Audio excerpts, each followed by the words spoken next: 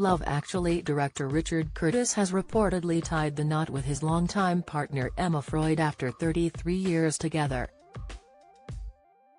The 66-year-old screenwriter and producer, who started dating Emma in the 90s, was proposed to by his partner two times but both attempts weren't successful.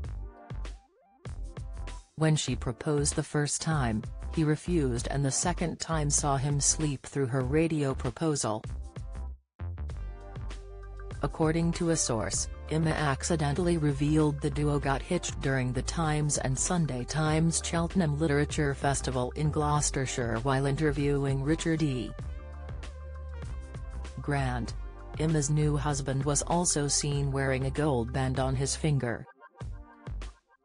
Emma confessed she had finally got hitched while interviewing Richard E. Grant, the onlooker claimed to The Sun. She said they'd been married for four weeks.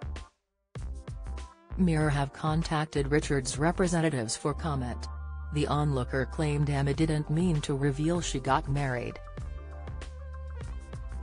The director's new wife previously said she popped the question in the early stages of their relationship. The Notting Hill director contemplated the big question for six months before eventually turning her down. He said to her, look I don't want to get married, but can we be not married for the rest of our lives? However, he did once appear on a radio show and said he might one day marry Emma. The second attempt wasn't any better as he admitted to falling asleep while she tried to propose.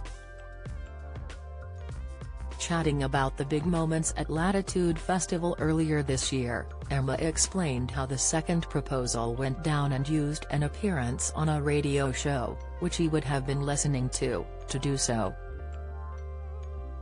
I did propose to him once. I did it on air, she said. I was doing Loose Ends on Radio 4 and I proposed to him, it was February 29, knowing that he was listening to the show. Then he always came to the pub after the show every time we did it. As he walked in, all our table went very, very silent because they'd heard obviously. It was like what's he going to say? She continued, and he didn't say anything apart from great show, loved every minute of it, it was fantastic, and then nothing else. The table was kind of like who, he soon went up to her and whispered in her ear to explain he fell asleep. Emma continued, he sat down and said how was it? I didn't hear a word, I slept through it.